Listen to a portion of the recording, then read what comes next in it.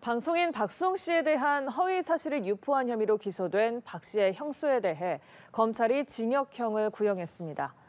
검찰은 오늘 서울 서부지법에서 열린 결심 공판에서 징역 10개월을 선고해달라고 재판부에 요청했습니다. 검찰은 채팅방에서 여러 지인에게 치명적인 허위 내용의 발언을 해 죄질이 가볍지 않다면서 박 씨가 강력한 처벌을 희망하는 점 등을 고려해달라고 주장했습니다. 앞서 이 씨는 카카오톡 단체 대화방에서 박 씨의 사생활에 대한 허위 사실을 유포한 혐의로 기소됐습니다. 다만 이 씨 변호인은 직접 목격한 내용과 들은 내용을 종합해 말한 거라며 무죄를 주장했습니다.